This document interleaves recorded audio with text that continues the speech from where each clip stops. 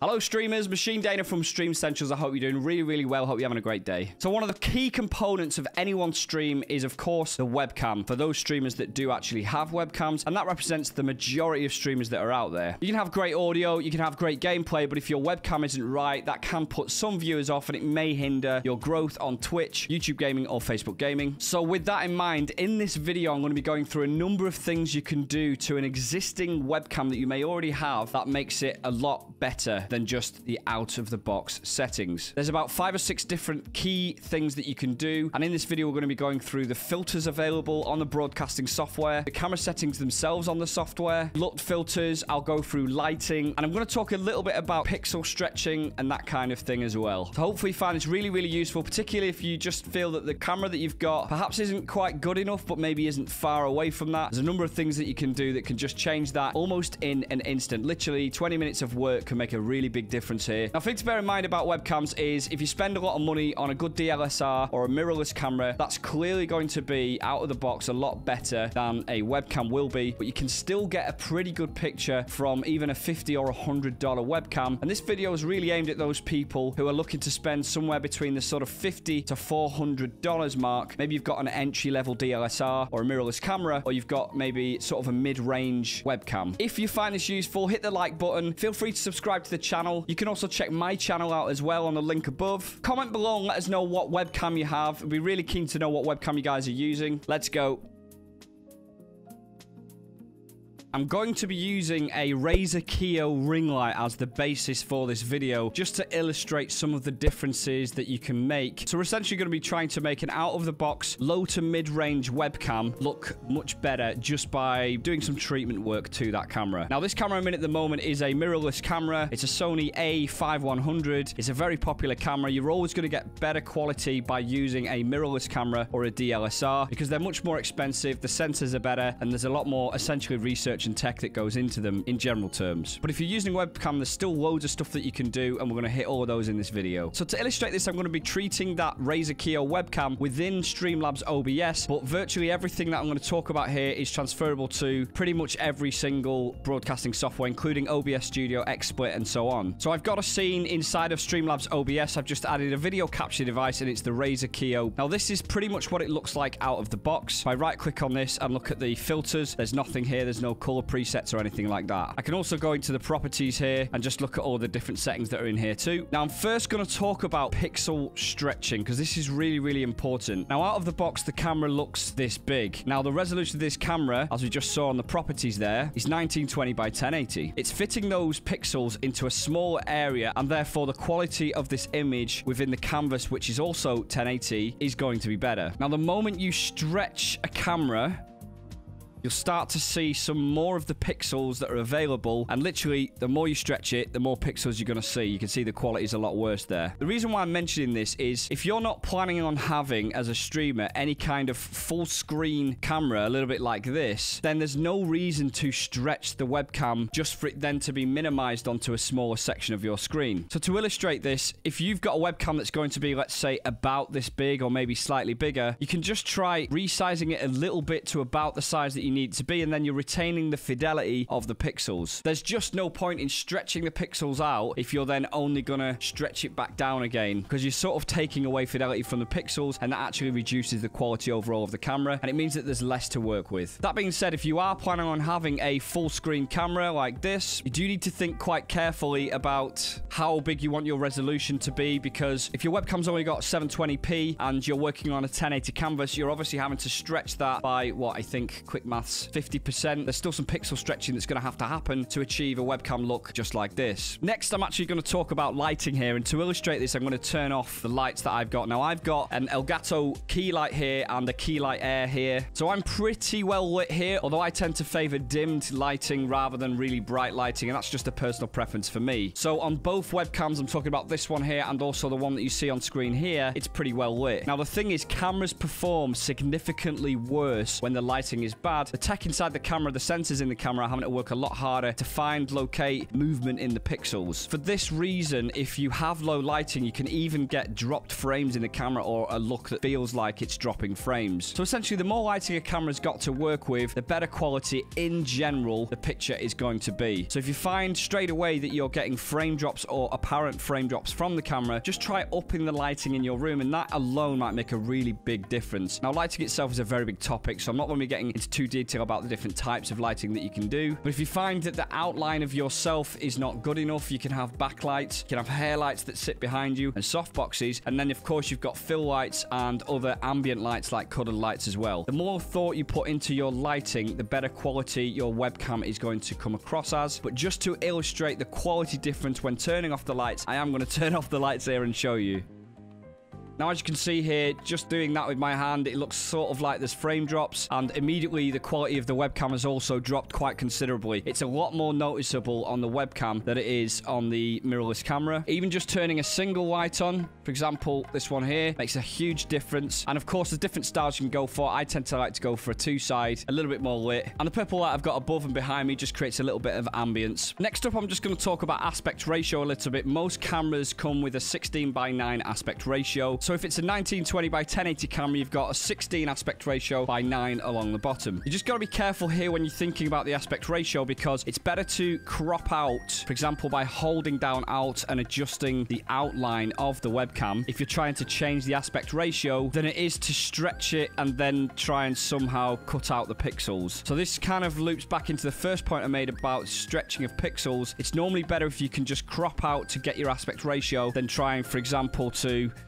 cut it out by pulling the camera off screen. So if you can see here, I've actually pulled this more off screen. It means we're losing some of the pixels unnecessarily. A quick trick here, if you click on your webcam, right click and transform, you can set it to fit to screen. You can also set it to stretch to screen. Now, if you click on stretch to screen, that will make the exact aspect ratio of the camera match the exact aspect ratio of the canvas that you've got in your broadcasting software. So you want to avoid stretching to screen, particularly if the aspect ratio is different between the two. Fitting to screen will mean it will keep its aspect ratio of the camera, but it means that there will still potentially be some canvas available. In this situation, the aspect ratio of my base canvas is not the same as my camera. So rather than stretching the camera out over the screen like this,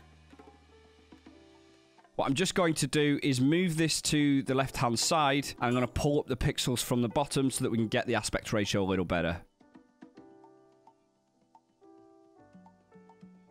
I can see there we're nearly there, so I'm just going to pull it up a little bit more. Now, all I'm doing is taking pixels away from the bottom for the sake of saving the fidelity of the rest of the pixels that we've got to work with. Now, here we can see we've basically not really lost any pixels at all, other than a few at the bottom. And, of course, you can make adjustments to the camera itself if you're not quite getting that right. Now, as you can see, it's a pretty washed out picture. There's a lot of work we can do with this beyond just having good lighting that we now have. This particular webcam in itself comes with a light on it, so I'm just going to which will just increase the lighting a little bit. You really see the difference in the colors here by taking a look at the color of my t-shirt here versus the color in the mirrorless camera here. So our objective now is to make this look as good as possible. So to treat this, the first thing I'm going to do is right click and go on properties. This is actually the properties of the camera itself. Now there's all kinds of different settings that you've got to play with here, including the resolution that you can set and the frames. In general terms for webcams, having lower frames will yield a better quality picture, but again, it does depend on how much you've spent on the camera and the quality of the camera itself. Some webcams operate pretty well at 60 frames, but if you find that you cannot get a good quality picture at 60 frames, try dropping it to 30 frames, and actually for a webcam, 30 frames is generally more than enough. In terms of color space, I personally find that working with 709 is better. Now I'm just going to show the difference between the partial and the full color range. Now, initially on the eye, the full color range actually looks worse because it does drain out some of the other colors, but we can correct some of that later. Just notice on my nose here, the color of it and the way that the light looks. And now when I put it on the full color range, you'll see the lighting looks much better. But of course, now we've got more of a washed out feel, but we can adjust some of these settings later to improve that. But you may not know that within OBS Studio, Streamlabs OBS, all the broadcasting software, there's always a configure video button that you can press. That'll pop up in this window here, and this just gives us a few more options that we can work with. So obviously we've got the options for brightness. Using full will increase the brightness, so I'm actually going to turn the brightness down a little bit because I'm happy to adjust the lighting based on my surroundings lighting rather than the camera's lighting setting. And turning the contrast down on the full color range has made immediately a difference you see here.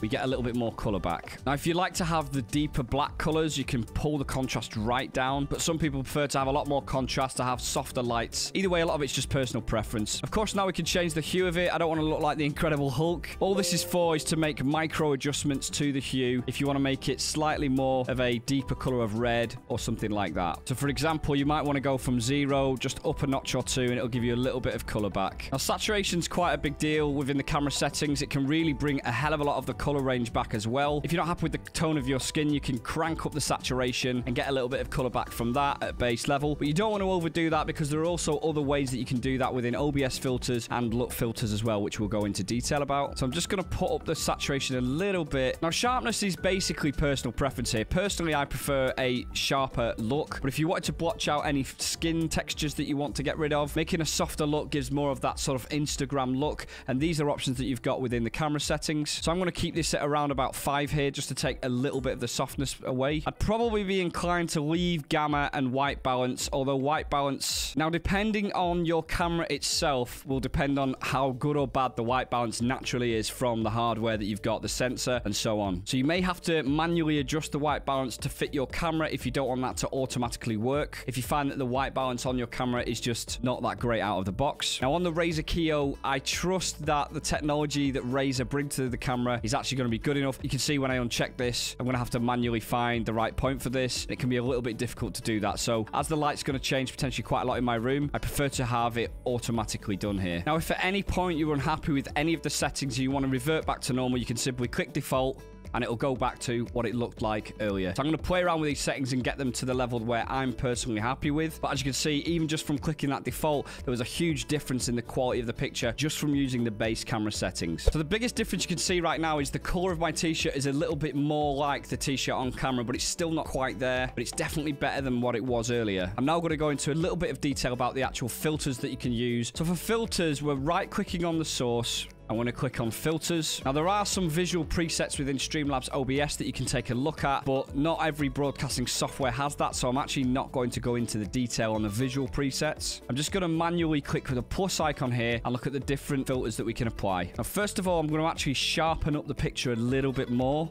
Now, the sharpening in my case for this particular camera, it's only quite subtle, so I'm only just adding a little bit of extra sharpening to it. Next, I'm going to look at the color corrections. Now here we've got more of the similar settings we looked at earlier, but this time they're inside of OBS Studio or Streamlabs OBS or whatever broadcasting software you're using. Now I personally prefer a slightly more saturated look, so I've cranked up the saturation a little bit here, and because I want to go for a more softer look as well, I'm actually going to drop down the brightness a little bit so that it takes away some of the harsher lighting. Now, I don't know about you, but it sort of feels like it's a little bit on the green side, just on the natural hue, so I'm actually going to use the hue shift with inside this filter to change the tone of my my skin. No, not that much. I think somewhere around about seven just gives me a little bit of color back to my sort of nose and face. Now, this camera's already looking significantly better in my opinion. So next what I'm going to do is just talk a little bit about LUT filters. Now, LUT filters are basically filters that you can buy online or make them yourself. Now, in this video, I'm not going to be showing exactly how you make those because it's quite a long video, but you can shop around for them. They're very, very cheap, or there are lots of videos out there that show you exactly how you can make your own LUT filter. Now, making your own LUT filter basically is a way that you can go into some video editing software and literally design the color scaling of your camera. So as you can imagine, because it's in video editing software, for example, DaVinci Resolve, which is a completely free piece of software where you can design LUT filters or Adobe Premiere or something like that, it just gives you a much more significant range of settings that you can apply to the color grading. So here I've created a LUT filter, which is completely customized to my liking. So I'm actually going to select this and apply it to the camera and see what that looks like. Although I mainly use it on this camera here, so I'm not sure if it'll work on the Razer Kiyo. To add the LUT filter, you simply right click, you go onto filters, we click plus here, and we're going to select LUT filters from the list. Then we simply need to browse to the file that changes the color correction. So I've applied that LUT filter, but for this particular camera and this setting, I'm not actually quite liking the full mix of it. Now, I think that the LUT filter makes a little bit of a difference. It brings back a little bit more color, but it's a little bit overpowering, a little bit too much. So what I'm going to do is I'm just going to actually turn down the amount to about half. I'm essentially applying half of that LUT filter there. And now the difference is a little bit more subtle. As you can see when I click it off and this is it turned on, it's not as strong as it was earlier, just like that. so just put this to 0.5. It's a more subtle approach to the LUT filter. Now, LUT filters can do all kinds of stuff. They can give like a cold, a warmer look, all kinds of different looks, which are far more complicated than just the filters that you've applied using the sliders within Streamlabs OBS or OBS Studio. So just for illustrative purposes, I've reset all of the settings on this camera and I'm going to turn off the lights just to show the difference that it actually makes. So this is it with the lighting, but everything's set back to default. And obviously the picture I've got here was just a screen grab of what we achieved just a second ago. As you can see, huge difference in the two pictures here. So there you go. Hopefully you found that very insightful. Hopefully I've given you some ideas that you can walk away with to quickly implement on your webcam without having to go out and spend more money on a new webcam or a DSLR or a mirrorless camera. If you did find it useful, hit the like button because it really helps us and have a wonderful day. Take care.